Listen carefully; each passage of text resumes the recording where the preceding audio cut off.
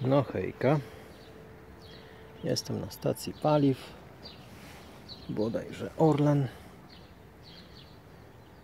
Dopiero co wyjechałem. Jestem w Krapkowicach, czyli niedaleko od Opola. A już mam pierwszą awarię, czyli urwał mi się uchwyt od kamerki. Także pierwszy etap, aż gdzieś się porządnie zatrzymam i to zrobię, no nie będzie nagrywany po prostu. Tak to wygląda.